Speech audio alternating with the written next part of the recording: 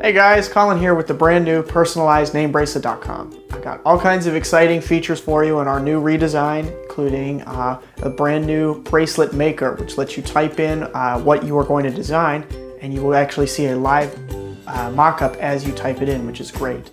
On top of that, we have a new feature-rich website, including example gallery so you can see some of the different designs that are available, as well as some articles that are helpful in choosing the right size, color, and that sort of thing. So yeah, check it all out, brand new personalizednamebracelet.com.